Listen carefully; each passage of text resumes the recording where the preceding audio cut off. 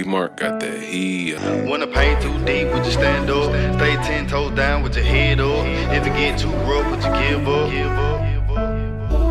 When the pain too deep, would you stand up?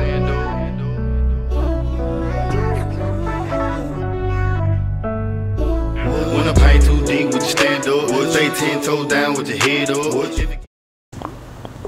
All right, all right, all right.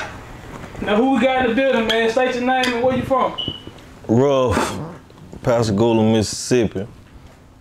What part of uh Pascagoula you from? I'm from the east side, you know to my I'm over there by um Brazil, you know to my that my section of town, you know to my from Brazil to Sea Cove, you know what I'm saying? That where we stopping at. And what what it was like growing up on, over there on Brazil Street when uh when you was coming up?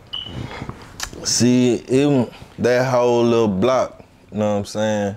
Growing up when we were being out there, it was mostly all us young, playing sports, football, basketball, you know.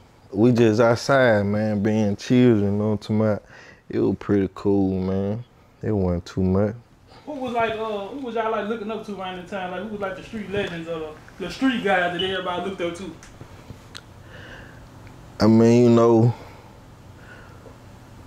from our side, you know what I'm saying, with me, out being born in Mall you know what I'm saying, being in Creola, but raised in Pascagoula, you know, by our, our area being like it is, it was just the basic name that you hear about, you know what I'm saying, Gold Dog, Willie D, you know what I'm saying, folks out the village, um, Tony Berry, but me myself, I ain't never really looked up to nobody, you know what I'm saying? I ain't never had no role model, had never had no man I wanted to be like, but you know, the folks who grew up in the hood and see the trap stars, they want to be like them and all that, you know what I'm saying? But I ain't never really had nobody I wanted to be like.